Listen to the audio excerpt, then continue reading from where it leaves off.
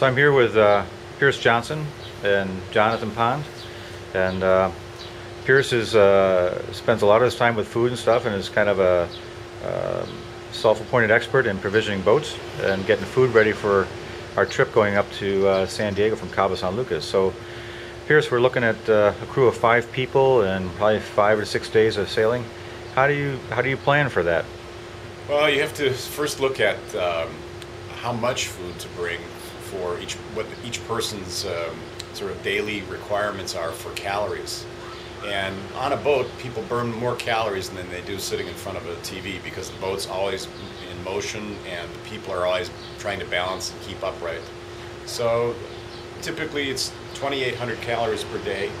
So you start with that as what you need to um, have for each day. And then you try and vary the, uh, the taste of the food so that it doesn't become the same boring thing day after day. Uh, it's important not to have too many uh, spicy foods because at sea people do not react well to spices. Uh, and it's also important not to have too fatty foods because people are also sensitive about that. But within with those two, you know, major categories um, of things that you can't do, there's lots of things that you can do. Pasta works well. Um, uh, veg- vegetables work very well, and uh, it's important to have a good balance of different things so that you get all of the nutrition that you need to be healthy.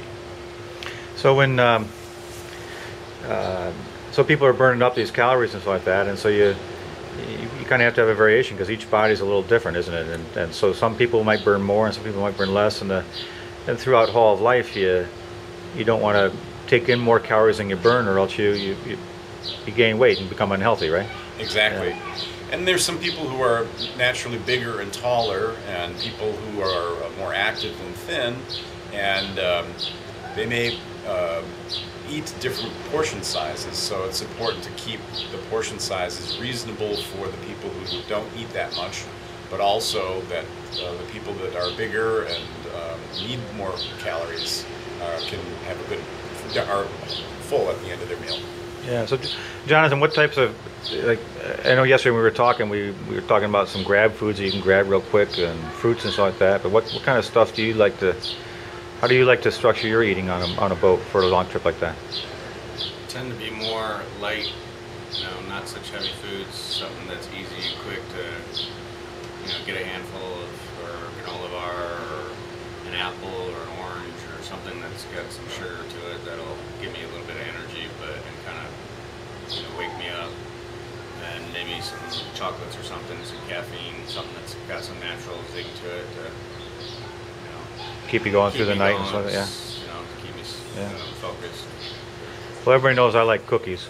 Yes. but I, uh, like you say, you know, we, we try to keep the keep a balanced diet so you get nutrition all the way around, and and um, I, I try not to eat too many cookies so I don't don't put on too many calories. But Fruits and vegetables are always a, a good um, thing they, between uh, the fruits having the natural sugars as opposed to artificial sugars uh, that are in candy bars, and the vegetables um, give you some feeling of being full without actually adding a lot of calories to. it So it can really be a good way to, of, of staying healthy that way too.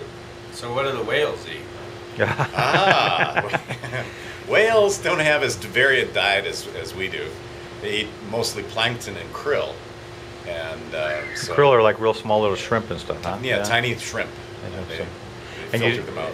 and the, the way they gather that, is I- as I understand, when you see them, you know, shoot up through the water with their mouths open, they kind of filter the, the water and grab a whole mouthful of uh, small stuff, huh?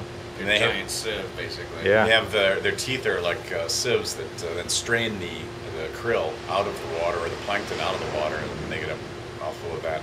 But we've been uh, here for several days, and we've seen probably five or six whales, and um, uh, mother whales with their baby calves. It's uh, very very interesting. That's cool. Maybe we'll see some of that on the way up. We'll see them actually feeding themselves and that type of thing.